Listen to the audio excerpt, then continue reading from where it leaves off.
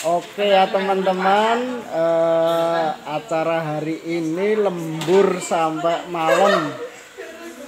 Nah, ini proses penggarapan eh, finishing eh, master plan dan RAB Desa Tempuran untuk eh, menuju desa wisata. Ini adik-adik eh, dari sekolahan yang ada di Kelurahan.